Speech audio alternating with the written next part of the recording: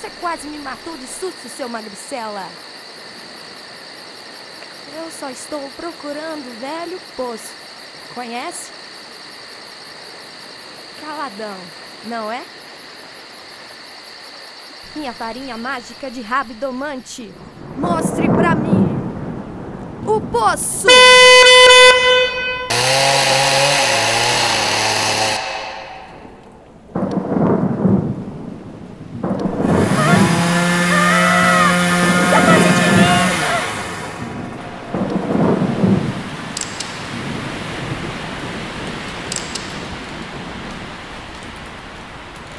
Uh, deixa eu adivinhar.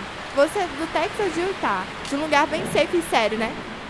Eu já tinha ouvido falar dessas varinhas para achar água, mas não faz sentido. Isso aqui é só um galho comum. É uma varinha de rabdomante. E eu não gosto de ser seguida, nem por nerds psicopatas e nem por seus gatos. Ele não é meu gato, ele é meio arisco. É selvagem, sabia? É claro que dou comida para ele todas as noites e às vezes é ele que vem na minha janela trazer uns bichinhos mortos. Ah, olha, eu sou de Pontiac, Hã? do Michigan. E se eu sou mesmo uma rabdomante, então cadê o poço secreto? Se pisar mais forte, vai cair dentro dele. Tá vendo? Dizem que ele é tão fundo que se olhar lá de baixo, consegue ver as estrelas em plena luz do dia. Tá,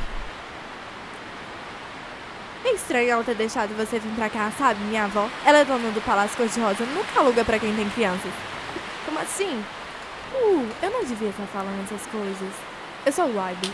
Wybe Lover. O Ivy? Diminutivo de Wyborn.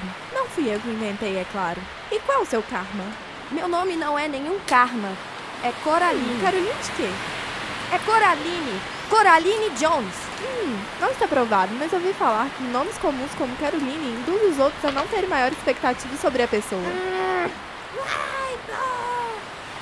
Acho que alguém tá chamando você, Wyborn. O quê? Eu não ouvi nada. Ah, eu tenho certeza de que eu vi o Wybobão Born.